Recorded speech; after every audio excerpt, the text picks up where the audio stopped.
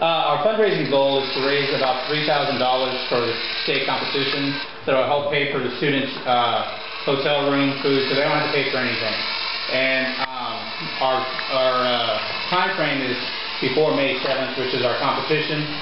In my class, we teach about the three Ds of STEM. And I call it design, drones, and 3D printing. So welcome to the new classroom in middle school where creativity and discovery are welcomed.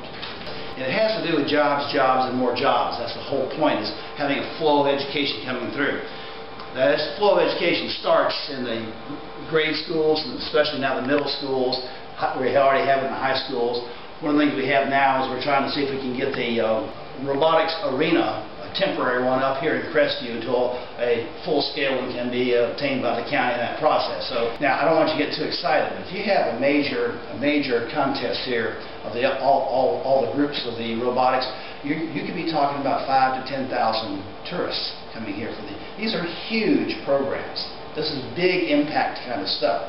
So hopefully the county is going to be able to put together a game plan to get a full-scale arena out there so we can keep keep pushing these kinds of tech programs through here.